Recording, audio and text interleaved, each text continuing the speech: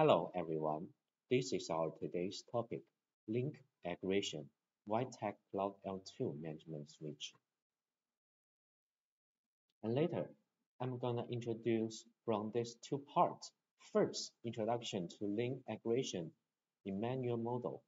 Second, example for configuring link aggregation in LACP mode. First, is brief introduction about link aggregation. Link aggregation refers to bonding multiple insert physical links together into one logical link, so as to achieve the purpose of increasing link bandwidth.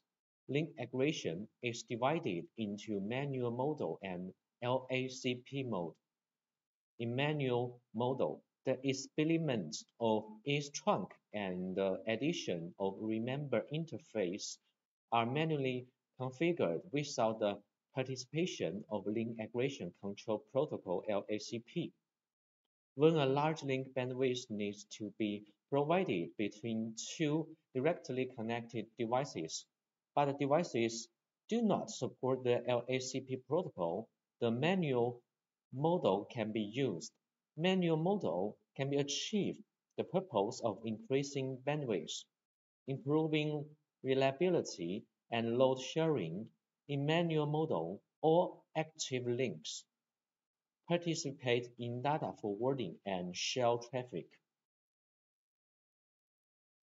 So to demonstrate the configuration of link aggregation, the following topology diagram is prepared for configuration experiments. We can see that terminal devices belonging to VLAN 100 and VLAN 200 are connected to switch A and switch B respectively.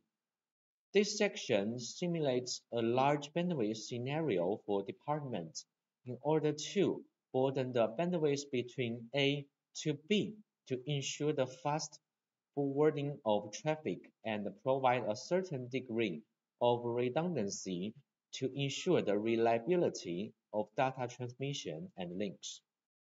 Here, we will do link aggregation between switch A and switch B. This page is our configuration idea, so we will follow this idea to finish all the configuration steps. Later, let's take a look of this idea. First, created LAG1 interface and add member interface to increase link bandwidth. Second, create a VLAN and add the interface to the VLAN. Third, configure the load sharing mode to realize the load sharing of traffic among the member interface of LAG1 and increase the reliability. Now let's start. We are configuring the switch A. This is the first step. On the navigation bar, find the link aggregation button and group button, and then click LAG1 and click Idiot button. The second step is VLAN creation. We need to create VLAN 100 and VLAN 200 on switches A and B respectively. Next, because the ports 4 and 5 connect to computer, so we need to configure these two ports to access mode. By the way, the LAG1 group defaults to trunk mode, so you don't need to set it.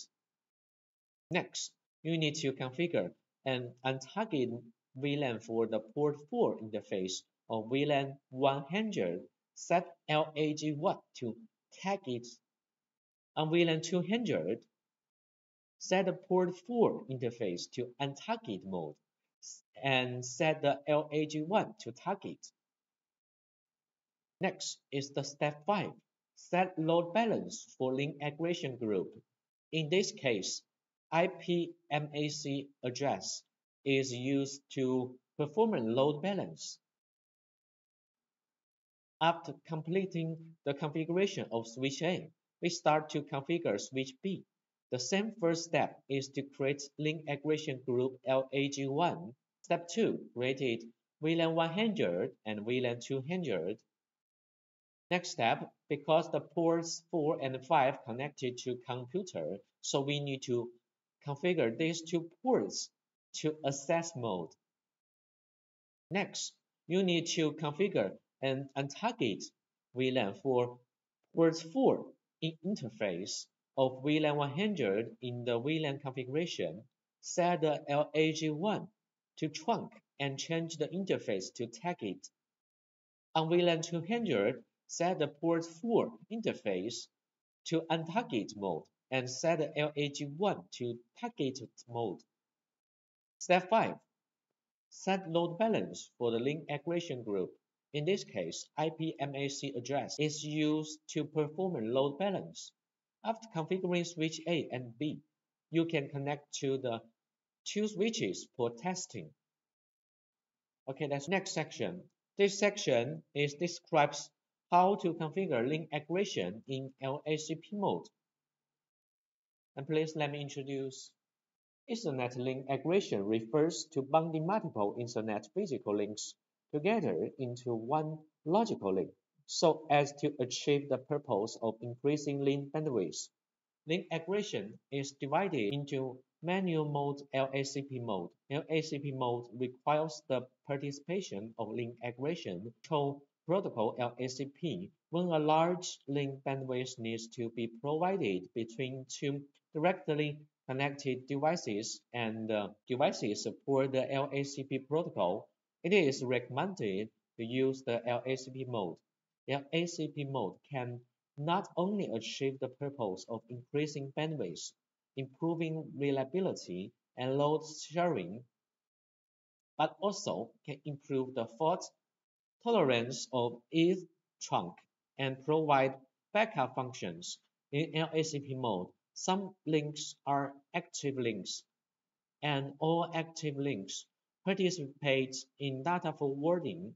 If an active link fails, the link aggregation group automatically selects a link among the inactive links as the active link, and the number of links participating in data forwarding remains unchanged.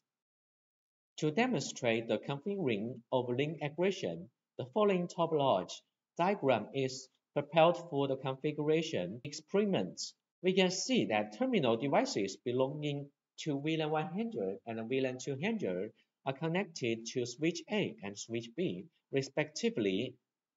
This section simulates a large bandwidth scenario for the department in order to the burden and the bandwidth between A and B, ensure the fast forwarding of traffic, and provide a certain degree of redundancy to ensure the reliability of data transmission and links. Here we will do link aggregation in LACP mode between switch A and switch B. This page is our configuration idea, so we will follow this idea to finish all the configuration steps later. Let's take a look of this idea. First, create LAG1, configure LAG1 to LACP mode and add ports 24 to 26 to LAG1 to implement link aggregation. Second, configure this system priority.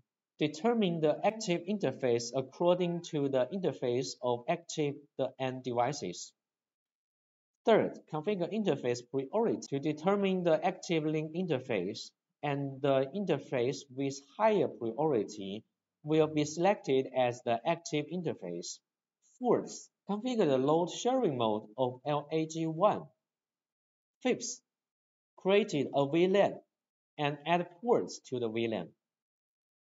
Let's move to our first step. On the navigation bar, go to the port link aggregation group and find the LAG1, created LAG1, and click EDIO to add ports 24 to 26 to the LAG1.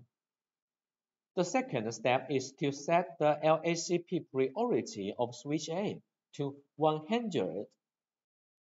This priority determines switch A as the active devices and set the priority of interface in the active state.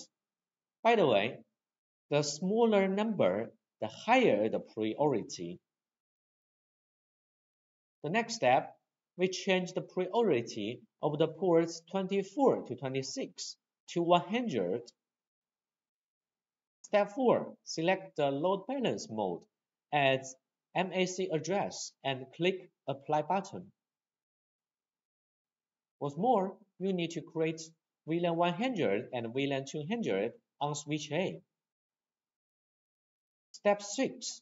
Because the port 4 and port 5 connect to computer, we need to configure these two ports to access mode. Step 7. Set port 4 to untarget mode and LAG1 to target mode. On VLAN 100 and on VLAN 200, set port 4 to untarget mode and LAG1 to target mode. Now that the configuration of switch A is complete, let's take a look at the configuration of switch B. First, same as the switch A, find the port link aggregation group and created LAG1. Don't forget add ports 24 to 26 to LAG1. The second step is to set LACP priority of switch B to 32768. This priority determines switch B as an inactive device. By the way, the larger the number, the lower the priority. In third step, we change the priority of the ports 24 and 26 to 32768.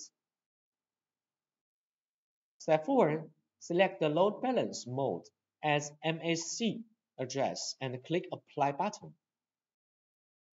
In step 5, you need to create VLAN 100 and VLAN 200 on switch B. Because the port 4 and port 5 connect to computer, we need to configure these two ports to access mode. The last step, set port 4 to untarget mode and LAG1 to target mode on VLAN 100. By the way, on VLAN 200, set port 5 to untarget mode and LAG1 to target mode. Now that the configuration of switch B is complete, now it's time to test the re results. Alright, that's all about today's configuration. Thanks for listening. See you next time.